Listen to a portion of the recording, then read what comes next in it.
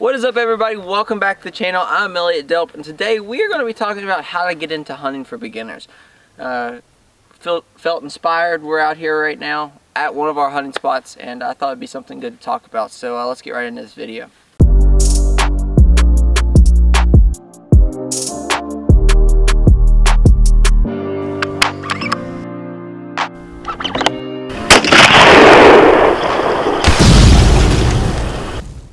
So, like I said before the intro rolled, we're going to be talking about the best way to get into hunting for beginners. And I've had people ask me this question um, on some of my hunting videos. Like, I know recently it was on the, um, the, or the most recent time somebody asked me was on the uh, top three favorite rifles for hunting, or my top three favorite hunting rifles. Uh, and we're out here right now. We're in one of our hunting spots actually and we felt inspired to go ahead and talk about this. So we want to get into a little bit of everything and I'll be asking Hunter here kind of what his opinions are on some things. Uh, I want to talk about everything. So from how to start to finding land to what kind of clothes you want to get into, how to get into it for the best amount of money possible.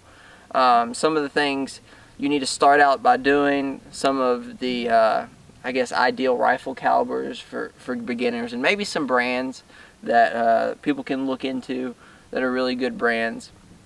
And then what to do after you kill something. Uh, I won't get too much into that because there's a million different things to do after you actually kill something. Mosquitoes are out today. Uh, but let's just start out from the beginning. So you figure out you want to go hunting. Well, the first thing you want to do is you need to find land, right? And what, what do you feel like the best way to do that is? I think, personally, I think that if you don't have any connections to any hunting land, public land is the best way to go, or know somebody that hunts public land mm-hmm. and go with them. And I, I recommend finding a hunting partner that has some experience. Uh, they'll they'll be able to help you a lot a lot better than any video can ever help you. Mm-hmm. But I feel like finding public land and then trying to find public land that doesn't look like it's been just overly obnoxiously used. And I don't know how abundant that is. Public land is pretty abundant around where we're at. So I, I feel like the, the best way to start is public land and then finding a buddy. Um, so once you found your public land, how do you know where the deer are at? Well, you need to go and pick up some trail cameras and start placing them, I would say, later in the year, probably like August. Mm-hmm. Uh, well, you could start earlier. You can start whenever you want, but yeah, and and just checking them regularly, trying to find deer paths, um, looking for where deer have been moving, and setting up your trail cameras there, and starting to get a good idea of where you want to set up. And when you find this public land and you start looking for all this stuff, you need to spend some time there. You need to get familiar with it, get a good idea of how you want to be hunting. You want to be looking for good shooting lanes. You don't want to just go in the middle of the thickest woods humanly possible. You know, you need to you need to find a good place to hunt, and you got to spend some time there. You know, you got to walk around and look for uh, sign. Look for sign. Get familiar with it, really.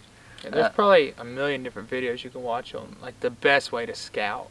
Yeah. Or, like how to find where the deer are. Yeah, there's there's tons of videos out there, uh, but this is not one of them this is just kind of your how-to or the the intro for beginners.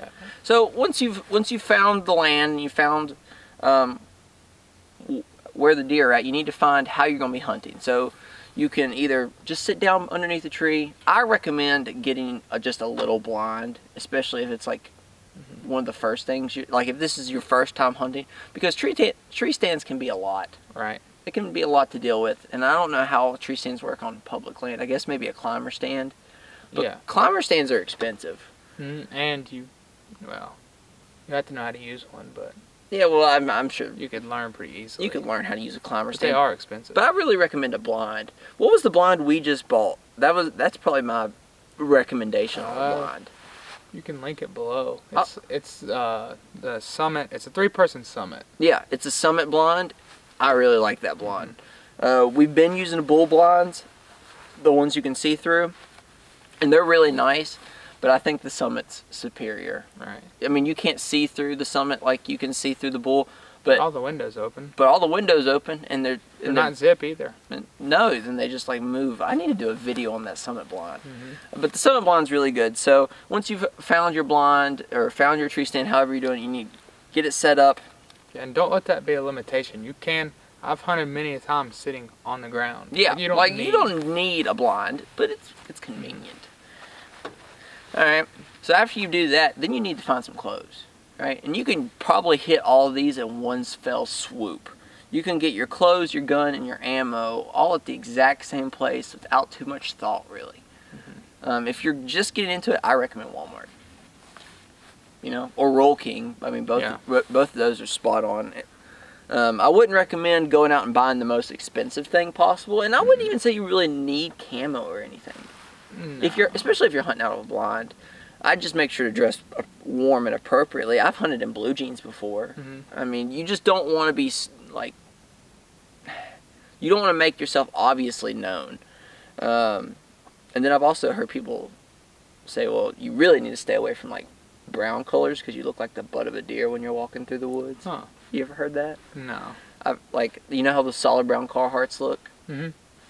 I bet that can- I I, bet that, that. looks like a deer. I I've never really that. like really thought thought hard about it. Mhm. But you need to go to Walmart and you need to get you some camo, camo pants, camo shirt, camo jacket, and maybe some bibs depending on how cold you are. And that won't run you that much. What do you think? It's like 150 bucks if you got everything. Yeah, and then there's also like half the time now I still put on sweatpants or something, or you know you could put on a pair of jeans or a pair of old thermals or leggings you had laying around. Yeah. Under, like you don't need the Well, hunting base no, no, no, layer, the- the, hunting pant, the- the, hunting pants that go over the hunting pants. I recommend the base layer. The base layer is like five bucks. well, that's just a normal base. It's not a hunting base. Oh, layer. I'm well, talking yeah. like an Under Armour specific oh, hunting. Oh no, No, golly, like- that stuff's crazy expensive. You can get like stuff you've that. stuff you've had when you went somewhere cold. You can wear it, but I would say it, it's not that important. But like you say, go go get some like a jacket and a pair of pants or something. you Yeah. could, you could wear on the outside. Yeah, I'd recommend that. I wouldn't. You don't need to have all the special hunting stuff, all the crazy, insane gear, and a nice pair of boots. Yep. Especially if you're doing a lot of walking on this public land. Uh, Which you probably will be on public land. yeah, you probably will be walking a lot. So maybe a, a nice pair of boots. Uh, my hands and feet get really cold, so I'd I'd prefer a nicer pair of boots over layers. And then some of the accessories while you're in the hunting section, Scentaway. You want to get some Scentaway, uh, and hand warmers. hmm Unless it's hot wherever you are. Yeah, unless you're hot. And I guess we're really tailoring this to deer hunting. Mhm. Uh, but it pretty much worked for about it. Well, pretty much anything. I mean, for the most part. Uh, so after you got all that, you've pretty much got everything you need to, to get to the stand, to be in the stand. Now you got to talk about like what you want to kill your deer with, or whatever you're shooting with. I recommend like if you're just starting out, you can go. I think there's three calibers that are just like spot on: 243, 270, 308. I don't think you can go wrong with any of those three or 30 aught six. They're super common. hmm Like Creedmoor's expensive.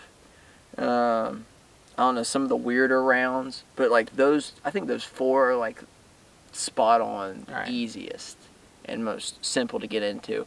And bolt gun, three hundred bucks. You can buy a Walmart optic. I mean, right here. This is not a three hundred dollar gun. This is one of our AR pistols in 6.5 Grendel, but it has a Simmons optic on it. I mean, this that, that optic's what like fifty bucks, Yeah, sixty not bucks.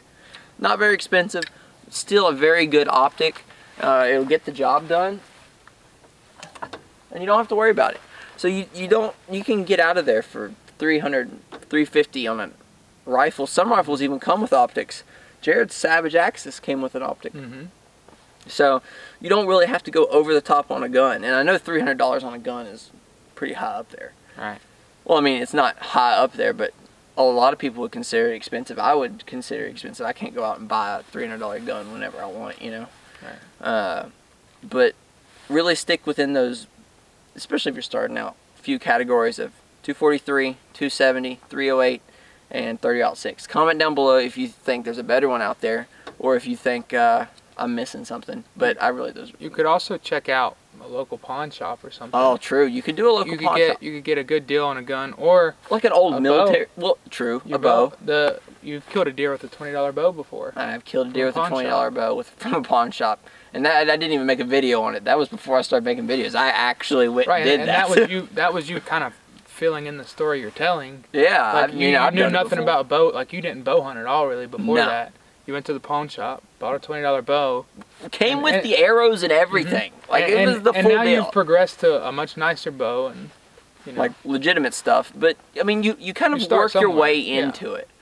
Uh, and like, so don't, don't- shy away from military, old military rifles. Mm-hmm. They might not look as nice and as fancy as the Walmart, like I say Walmart rifles, but like the Savage Axis and stuff. But like old military rifles are real good. Um, like just older older guns in general work just fine. They don't have to be a synthetic stock. They don't have to be like a detachable mag. I mean, you can do top load, like all kinds of stuff. You can you can get around spending three hundred dollars on a gun. Maybe not right now in this political climate or anything, but for the most part, once Right. everything settles down, you could do it very cheap uh, and very inexpensive. You can you can get it done, and then all you have to do is sight it in, make sure you're comfortable shooting it, and working with it, and then go out and hunt. Make sure you're hunting within your seasons. Um, if you are hunting public land, you will have to have a hunting license, and some some places that requires a class you have to take beforehand. So I'd recommend making sure you're doing everything legally correct. and not that you don't have to be careful on your own land, but you have to be a lot more careful on public land. Yeah, because you might be hunting with other hunters. Right. I've I've heard stories before where somebody's hunting on public land, and this is why most people don't like it. It's somebody hunting on public land, and they're sitting there. They got there 30 minutes before daylight, and all of a sudden it's five minutes after daylight, and somebody walks Oh, 20 yeah. yards in front of them and sits down. Oh, that'd they didn't see them. That'd be horrible. Oh, I almost forgot orange. You need to have orange, especially if you're deer hunting. They're in uh, rifle. Yeah, deer and rifle, and It's actually a legal amount that's required. yeah, it's like one one cubic square It's square. I so know. many inches or feet or something. yeah, it's something. Uh, always recommend orange hat, Mhm. even in muzzleloader, orange hat, all the time. I wouldn't. Re- I, I don't think it's that important. Bow, bow, bow doesn't matter. I no. Um, but yeah, so you need to make sure you're up on all your legal legal rules and stuff. Here in Virginia, you don't have to have a hunting license to hunt your own private land. So if you have your own land and you're looking to get into hunting, you really have yourself set up uh, pretty good. So, so you you do all this stuff and you kill a deer. What do you do with it next? You gotta. That's a million dollar question. gotta gut it. you gotta gut it. So this is where your buddy really Field comes. dressing. Yeah, this is where your buddy really comes into like having a good hunting partner or somebody that started hunting really comes into like being useful. Because it can be very intimidating to field dress a deer. Um, and it can it can be difficult sometimes. It can be a, lot of work. You also have the option to take it somewhere, and and most most people Expect most you to places field dress it though. ex- expect you to at least field dress it, and they'll do everything else. But I, I'm sure if you just started, you could take it somewhere. They would just charge you extra. But Or then that's it's it's not sketchy. But if it's a hot day, you need to get it there ASAP. Yeah. Like, you field dress a deer because you don't want the insides to ruin the meat. Yeah. So it, if you if you are, what what they could do is if they took it somewhere, have them help them through it, hmm help them through the field dress at least. Uh, that'd probably be the best way to do it. Or watch a video on YouTube, but that still doesn't do everything. No, like a, a video, there's all sorts of good videos that'll show you everything you need to know.